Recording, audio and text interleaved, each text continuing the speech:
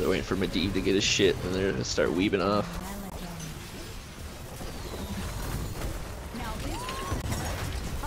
Body block.